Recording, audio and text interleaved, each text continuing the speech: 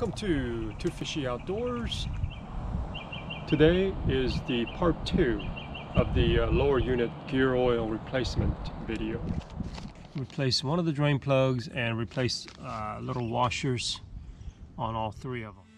Simple solution of replacing one drain plug and uh, replacing seals for all three. One down here for the drain plugs and the fill plugs up here. We're going to replace all new seals. We want to make sure that we clean out the old threads and make sure that we remove the old uh, seals. Found one of them that looks pretty rough.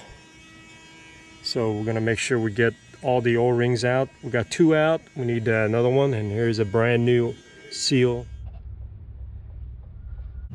See the difference between the two bolts? This yellow piece screws into the uh, fill hole at the bottom. And we'll show you how that goes. Goes in like that. It'd be easier to disconnect this tube from this yellow piece and screw this yellow piece in to this fill hole first and then reconnect the hose. Now the tube is back on and then we're ready to pump the uh, gear oil into the lower unit. There it goes.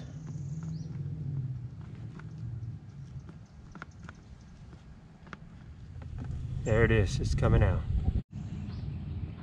Okay, we got oil coming out of the top hole, which means it's full. So we're gonna close that. Uh...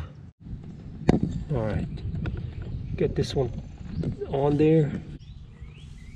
All right, all right, it's already coming out of this second hole pretty good. So we're gonna uh, close this up and uh, should be good to go. Here's a trick you can use you have this excess gear oil in the in the tube so how do you get that out? Well open up your canister take the tube out of the uh, gear oil and then just pump it down. That should clean out your excess gear oil that is in your line so that it goes back in. This shows you how much if you can see that how much of the uh, gear oil we put in there. So it's not a full quart, but uh, a little bit more than a half a quart. So we got the drain plugs back in, everything's good. We're gonna keep an eye on it to make sure there's nothing coming out of the bottom of this drain plug.